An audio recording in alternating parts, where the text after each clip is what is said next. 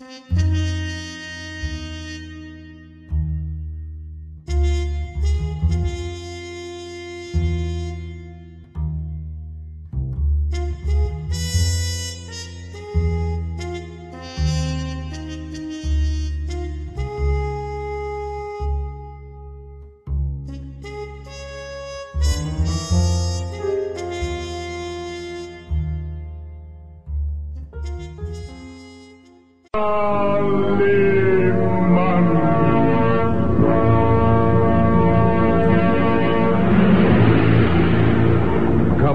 Con los hombres, Galante con las mujeres. tierno con los niños. implacable con los malvados. Así es, Calimán, el hombre increíble.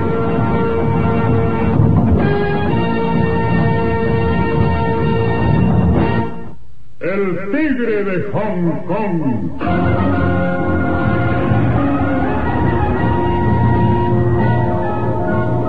Una nueva aventura de Calimán, el hombre increíble, en la que lucha con la terrible secta de asesinos y traficantes, conocida mundialmente como El tigre de Hong Kong. interpretado estelarmente por la primera actriz Beatriz Aguirre, con Luis Alba, Ofelia de la Fuente, Marcos Ortiz, Benito Romo, Luis Vadillo y como narrador Isidro Olace, interpretando a Calimán, el propio Calimán, un libreto original de Víctor Fox.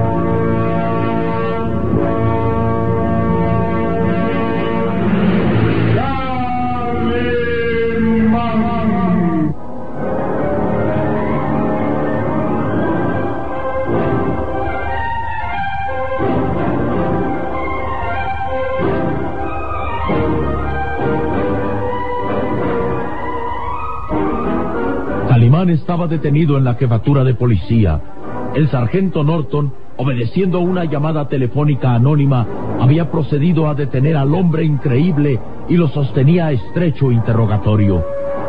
La situación de Calimán se complicaba, ya que deseando no complicar al pequeño Solín en todo aquello, no podía ofrecer testigos que confirmaran sus palabras de que cuando él había llegado al bazar, el viejo Chon Guay estaba muerto. De esa manera, los planes del escultor Lee Hara para apartar a Calimán de la investigación daban resultados. Lee Hara era el que había hecho la llamada a la policía denunciando a Calimán. Las horas habían pasado y Calimán seguía bajo la presión del interrogatorio del sargento Norton, mientras el pequeño Solín y la hermosa Tagasi Chani continuaban esperando su regreso en el hotel.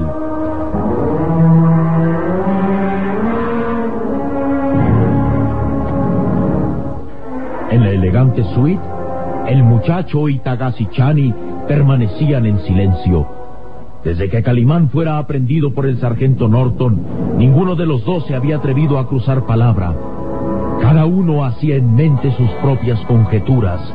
De pronto, doce cristalinas campanadas del reloj que descansaba sobre la chimenea rompían el silencio. Las doce. Y Calimán no regresa. Tal vez deberíamos ir a buscarlo. Pero no. Calimán dio órdenes de permanecer aquí y obedeceremos. Pero hace más de cuatro horas que se fue y, y aún no regresa. ¿Cuánto tiempo vamos a estar así? Sin ninguna noticia. El tiempo que sea necesario. Pero tal vez la policía lo complique y... Ah, Calimán es el hombre más hábil para salir bien librado de cualquier aprieto. Por supuesto que le falta mi compañía. Pienso que fue un error dejarlo ir solo. encargó que me hiciera compañía.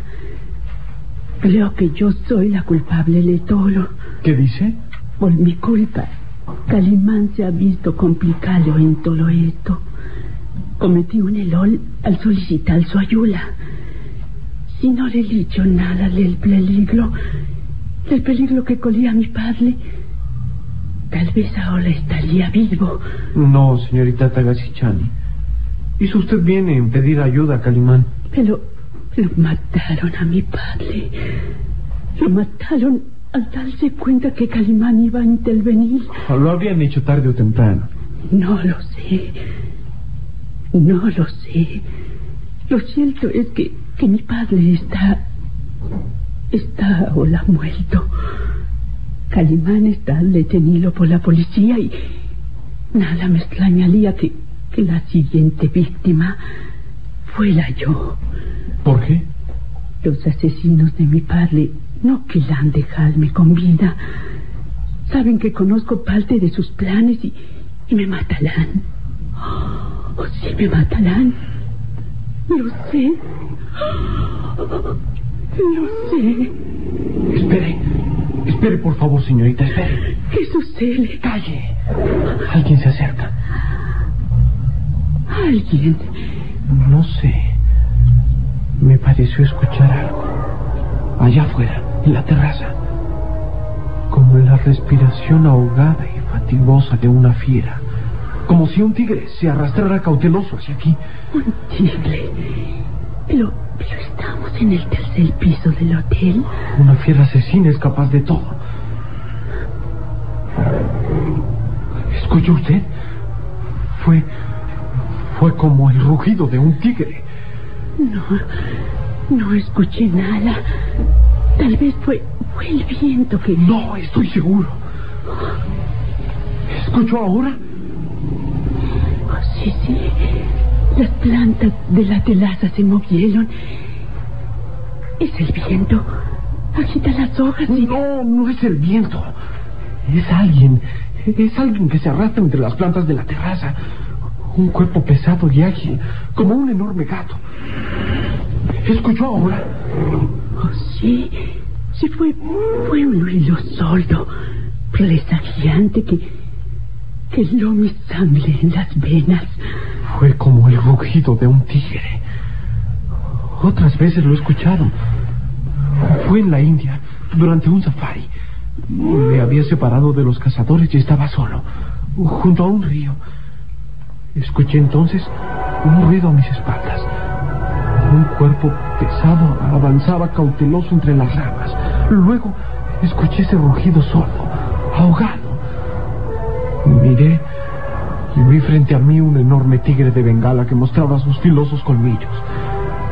Sus ojos esmeralda me hipnotizaban, me impedían cualquier movimiento. Quise gritar, pero la voz se ahogaba aquí en mi garganta. El tigre avanzó más, calculando su salto mortal. Roqueó de nuevo y, sentí el terror que paralizaba mi cuerpo. Cerré los ojos solo escuché un disparo. ¿Un disparo? Sí, uno de los cazadores regresó a tiempo. Cuando abrí los ojos vi al tigre a escasos metros de mí con un tiro entre los dos ojos que aún parecían hipnotizarme. Pero ahora, ahora no hay ningún cazador cercano. No habrá nadie que nos salve. Si el tigre asesino nos ataca, no habrá nadie que nos salve.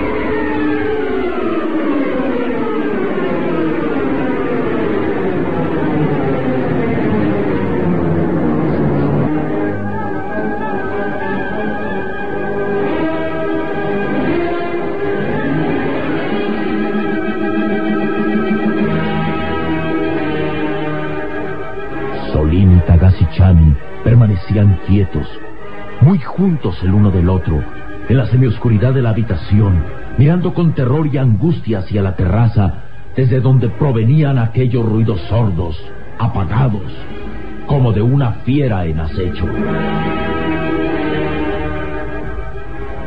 Está ahí, lo sé, agazapado, vigilándonos. Pero, pero estamos en un tercer piso, en una gran ciudad. ¿Cómo, cómo puede tratarse de un tigre? Señorita, un tigre es como el demonio mismo. He visto trepar un tigre de bengala. Lo he visto trepar por un árbol a más de 30 metros de altura persiguiendo a un nativo. Son como demonios que no los detiene nada. ¿Escuchó? Sí, sí. Ahora fue, fue más claro.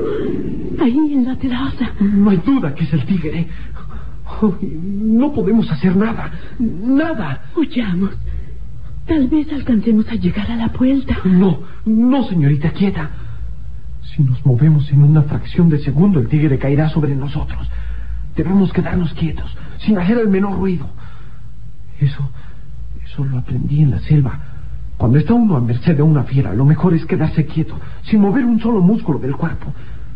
La manera más pronta de provocar el ataque de una fiera es, es tratar de huir. No se mueva. No se mueva, por favor. Pero, ¿cuánto tiempo estaremos así? No lo sé. Si Calimán estuviera aquí, si él estuviera, nos salvaría. Oh, Dios mío. Haré el último intento por comunicarme con él. ¿Qué dices? Escuche, el cerebro es lo más poderoso que hay en el mundo. La mente emana corrientes transmisoras que rompen la barrera de las distancias. ¿Quieres decir la transmisión de pensamiento? Sí. Mi señor y amigo Calimán me ha dicho que cuando esté en peligro, concentre mis pensamientos en él.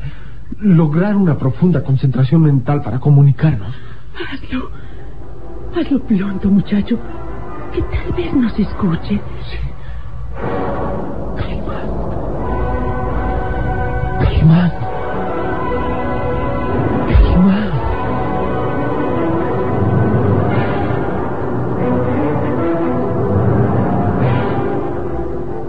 Lejos del hotel, en uno de los separos de la jefatura de policía, Calimán se mostraba fatigado y nervioso. El interrogatorio del sargento Norton continuaba enérgico y pertinaz. Bien, empecemos de nuevo. ¿Qué hizo usted la noche del crimen? Oh, sargento, por favor, esto es una tontería. Lleva usted casi cinco horas haciéndome las mismas preguntas. Está cansado, ¿verdad? La fatiga es una de nuestras mejores armas. Muchos delincuentes acaban por confesarlo todo cuando sus fuerzas físicas han menguado. Y usted está fatigado por el interrogatorio. Oh, sargento, le aseguro que podría estarme la noche entera y muchas más charlando con usted. Míreme, estoy sereno, tranquilo.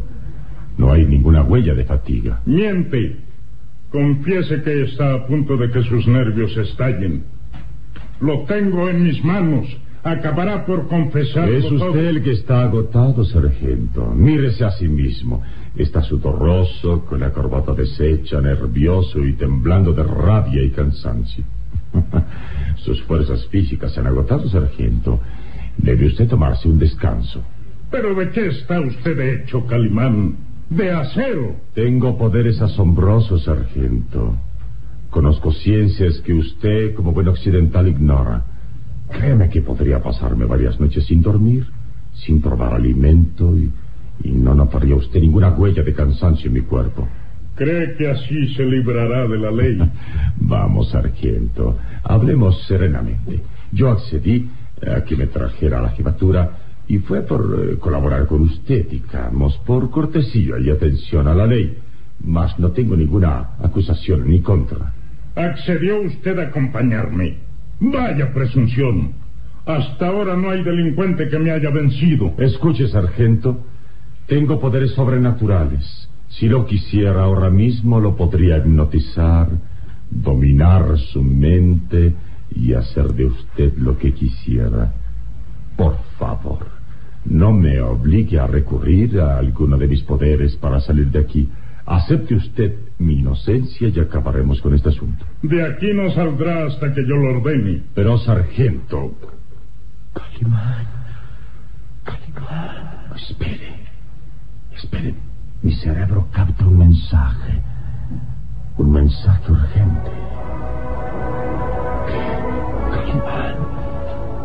Calimán. Es Solim.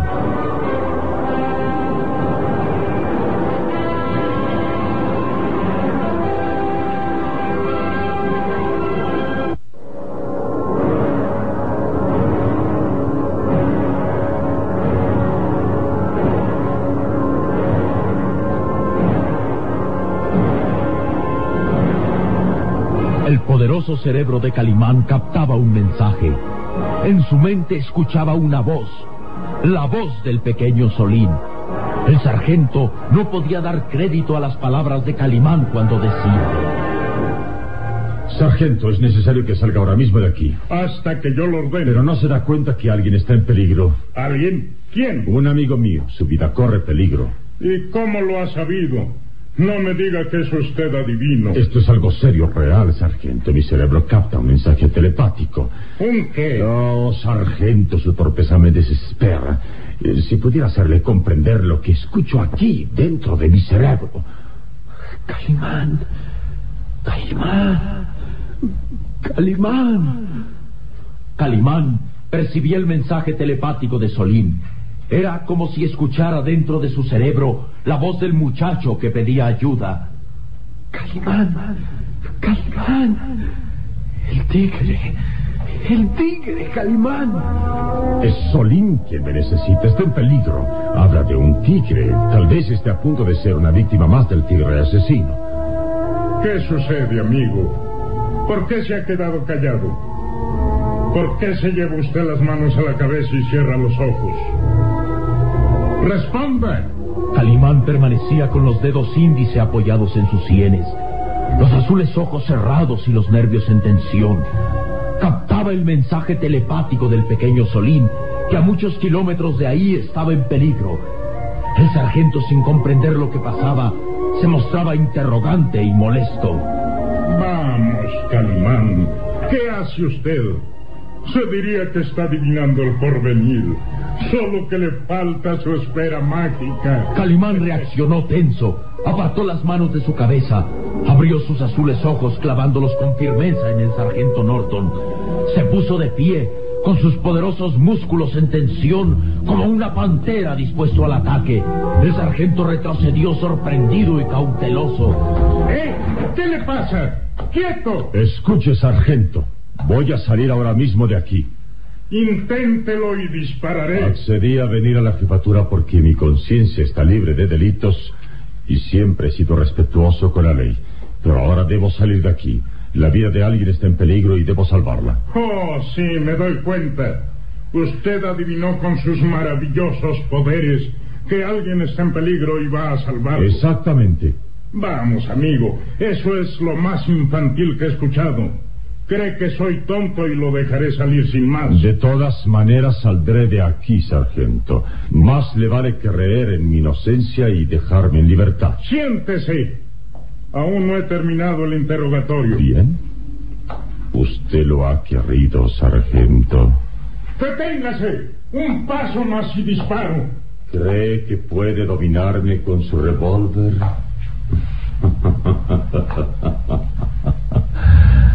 Ahora le haré una demostración de mis poderes. Calimán levantó la mano derecha y trazó un signo en el aire, un pase hipnótico, y al instante el sargento Norton quedó paralizado. ¿Qué diablos me pasa? No puedo moverme. Estoy petrificado. No, no puedo mover un solo músculo de mi cuerpo.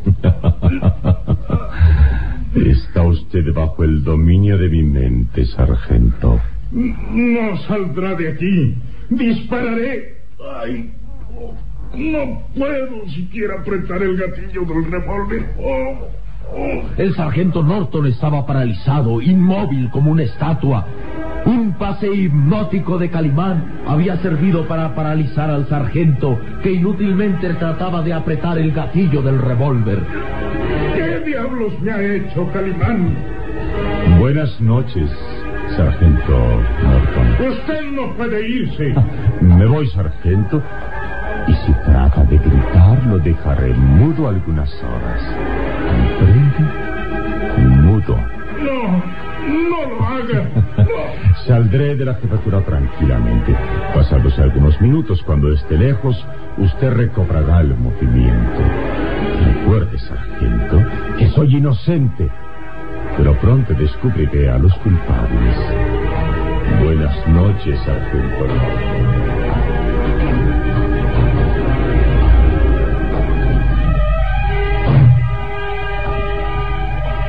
Se ha ido. Se ha Solín me dejó paralizado. ¡Mil diablos! No puedo mover ni un dedo. ¡Mil diablos!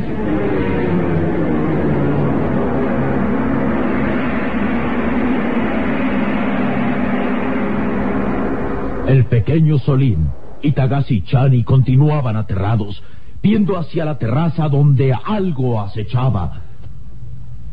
Oh, está ahí. Veo al tigre agazapado. Esos grandes ojos verdes miran con furia. Oh, va a atacarnos. Va a atacarnos.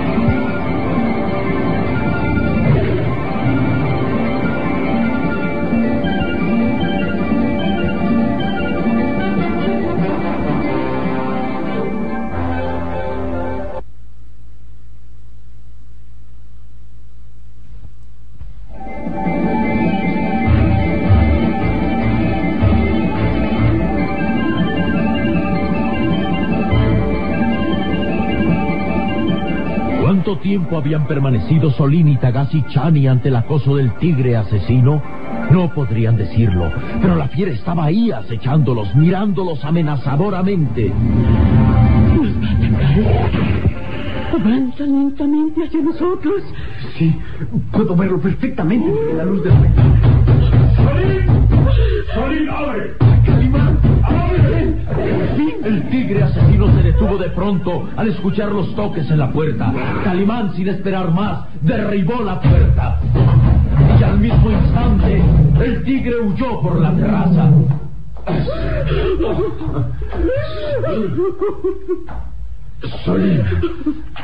Shani, Calimán. están a salvo, Calimán. pero están temblando. ¿Qué ocurre? Es el tigre. El tigre.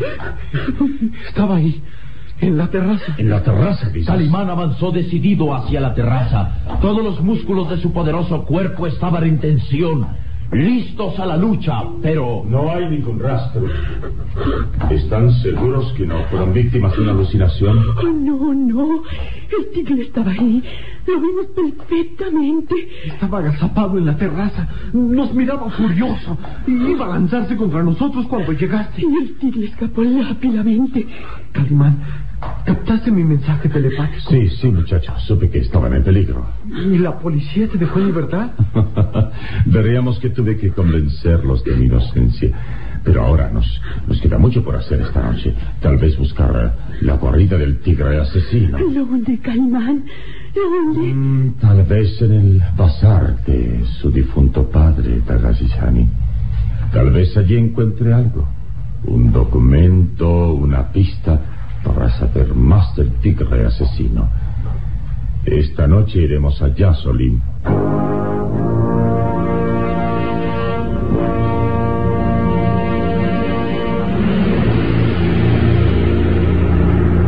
el bazar del difunto Chon Wai permanecía en tinieblas. Todos los viejos objetos, las antigüedades, parecían mausoleos de un singular cementerio. La figura de un hombre se recortaba en la semioscuridad. Brillaba verdosa la esmeralda en un turbante blanco. Se apreciaba un cuerpo atlético y poderoso que avanzaba cauteloso entre las sombras. Era Calimán. Alguien está escondido allí, tras esas cortinas. Percibo una respiración ahogada, temerosa. Calimán avanzó hacia una cortina de rojo terciopelo y una sombra trató de escapar, pero la mano recia y musculosa de Calimán la detuvo. ¡Quieto! ¡Quieto! ¿Eh? ¡Rómpeme el brazo! ¿Una mujer? Una hermosa y sorprendente mujer. ¿Y quién es usted? ¿Qué hace aquí? ¿Quién es usted?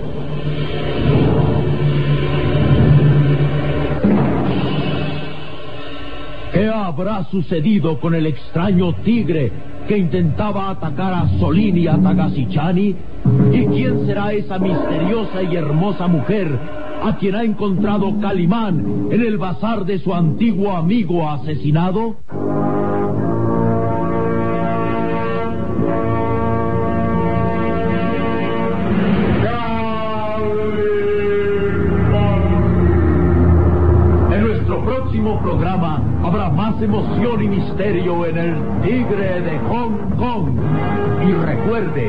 Donde se haya una injusticia que reparar, o la emoción de una aventura, o la belleza de una mujer, ahí está.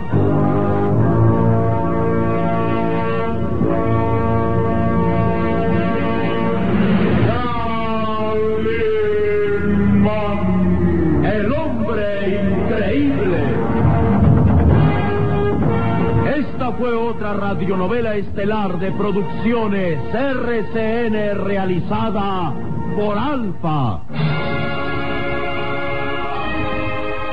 Escúchela de lunes a sábado a esta misma hora por RCN.